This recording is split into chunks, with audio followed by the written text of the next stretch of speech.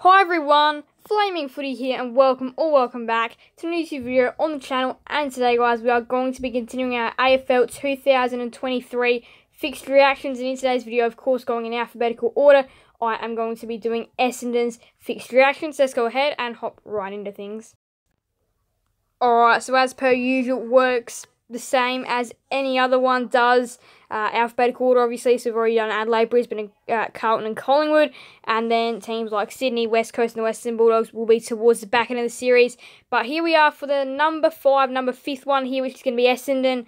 And just going to be having a detailed look at their fixtures going over it and just having a look, uh, just a really detailed look at their fixture.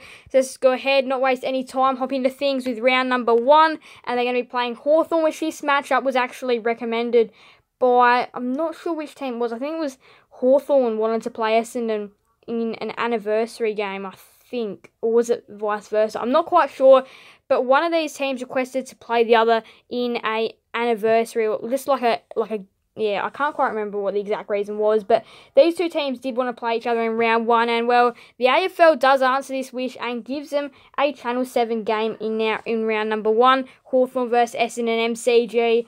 That could draw a big crowd, I reckon. That could draw a big crowd potentially one of the biggest crowds of round one. Potentially, I reckon that could be one of the biggest crowds of round one. You've got the opener, you've got Geelong Collingwood, which, which I reckon will outscore this one, but I reckon that will probably sit quite comfortably in third for um yeah, perhaps the highest crowd, but that's going to be a cracking contest as well. Two not so great sides are, are battling it out. I reckon that could be a really good game. So round number two, another Channel 7 game here for Essendon. They've started off their season pretty well, two Channel 7 games. Two 320 games as well. Essendon versus Gold Coast at Marvel Stadium.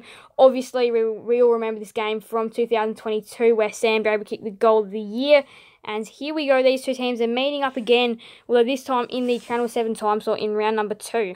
So round number three is going to be St Kilda versus Essendon in St Kilda's um anniversary game here on a Saturday night. So would you believe this? Three out of three Channel 7 games here for Essendon to start off their season. This is looking good for them. They're actually going to be getting tons of Channel 7, well not tons, but actually quite a fair few Channel 7 games throughout these first 15 rounds of 2023 and you'd expect they may get another couple as well towards the back end. But this this could be another great game as well at the MCG. Rare to see the Saints playing at the MCG, but obviously they do want to draw a very big crowd this one, and probably will. So round number four. They um, aren't in the Channel 7 time slot anymore. It is going to be Essendon versus GWS 210 on the um, on the Sunday, the first game on the Sunday. Um, and that's going to be an, I reckon this is going to be a great game. Now, I'm not sure what you guys think, but I actually think that Essendon and GWS do have a pretty, not like a massive, but a pretty decent rivalry here with some really close games in the past. So I feel like this is going to be another cracking contest between these two sides at Marvel. Round number five, obviously Magic Round, we know so much about that.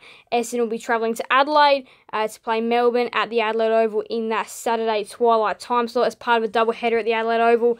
Now, round six is where things get spicy. They return back to Channel 7 time slot games and they play Collingwood in the Anzac Day clash, and that's what I meant by spicy. That's going to be a cracking game, I reckon. Um, Anzac Day games are always closer than than what they may seem. But yeah, Anzac Day this year was a great game, and I reckon yeah, 2023 should be another absolute cracker. And even if it's not the atmosphere in the crowd at draws, still does make it a good game either way. Now in round number seven, they'll be playing Geelong in the country game. So these two sides met in round one. They have like this country game they play. That will be Sunday, April the 30th at 1.10 Victorian time, the MCG in round number seven.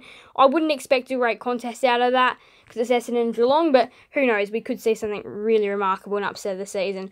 So round number eight would would be Essendon travelling back to the Adelaide Oval this time to play Port Adelaide at the Adelaide Oval again in that Sunday 110 time slot, 1240 local time to play Port Adelaide. Again, this is going to be a really tough task. Um, three really tough tasks in three weeks. It's going to be very, very, very hard here for Essendon to um to to win all three of those games, but just getting a result in one of those three games could be a really big bonus for their season. But yeah, Three very tough games. And then you back it up with the fourth here in round number nine. Brisbane versus Essendon at the Gabba. Channel 7 time slot, 6.55 or 7.25. So, um, yeah, this is probably not going to be a great game either. It's at the Gabba. Brisbane, we know, so good up there with their additions throughout the season as well. This is going to be a cracking game.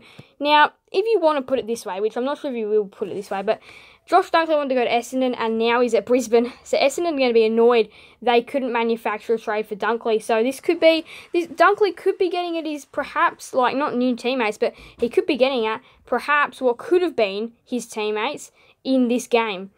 Because yeah, Josh Dunkley had a failed trade to go to the Bombers, and yeah, the Bombers aren't happy to see him now go to Brisbane.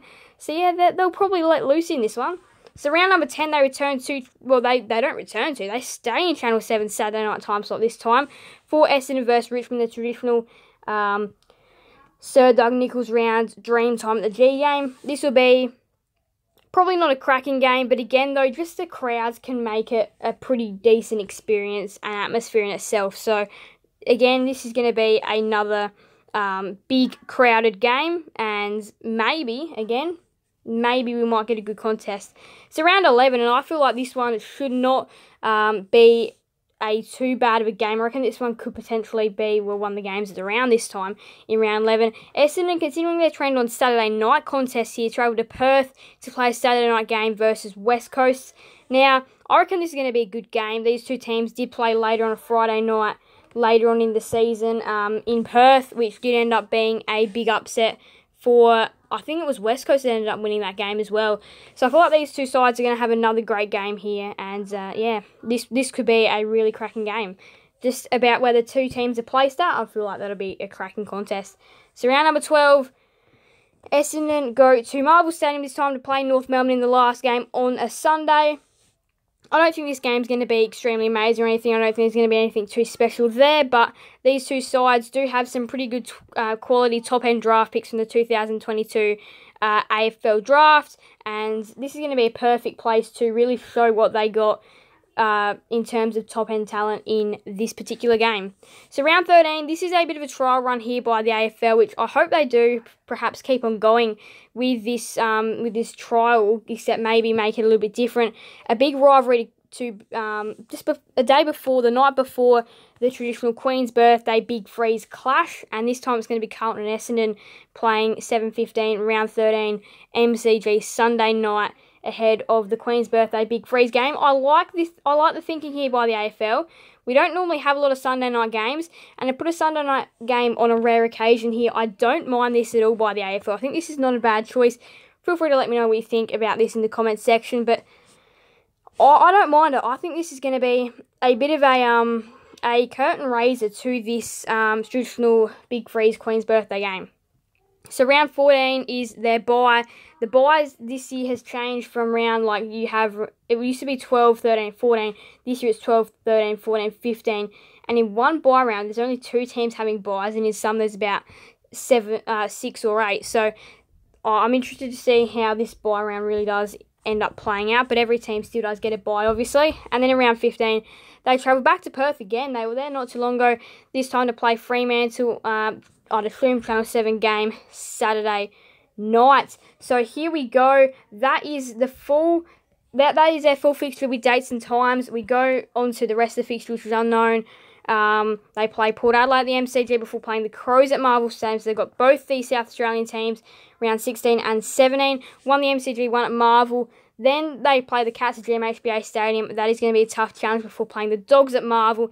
And then the Swans at Marvel. And then the Eagles at Marvel hang on, hang on.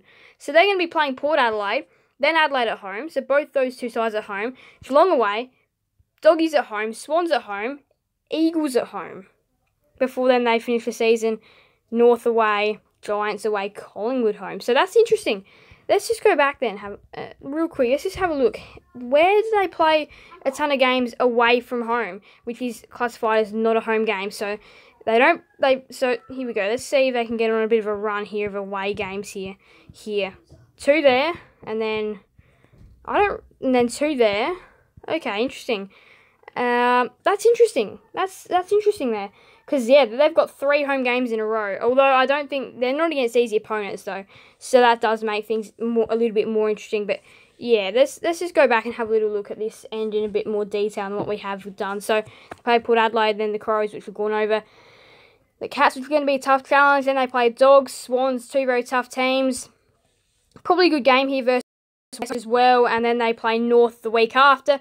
They play the Giants in what seems to be a brewing rivalry at Giant Stadium, and I reckon that could be a great game before then they finish off the season playing in a rivalry here at the MCG against Collingwood. So that is their fixture here for Essendon. Now, definitely a few interesting parts. It's going to be tough for Essendon next year. I think a lot of people see them as a bottom four, or if not bottom four, definitely bottom six side uh, in 2023. I'd probably see them being around that around that same kind of 15th mark. I don't think they'll really fall much further than what they did in 2022, but I can't really see them rising. I'd only see them rising one or two spots if they were to at all. Anyway, but that's going to wrap us up for their fixture. There's definitely lots of interesting games in there and definitely lots of prime time games for Essendon as well. Um, so it'll be interesting to see how they go in um, those primetime games as well. It'll just be interesting to see how they go in season 2023. But anyway, that's going to wrap us up for today's video. Thank you guys all so much for watching. Make sure to leave a like and subscribe hit that notification bell. See you guys in the next video on the channel. Thank you guys all so much watching. Bye everyone. Flaming Footy out.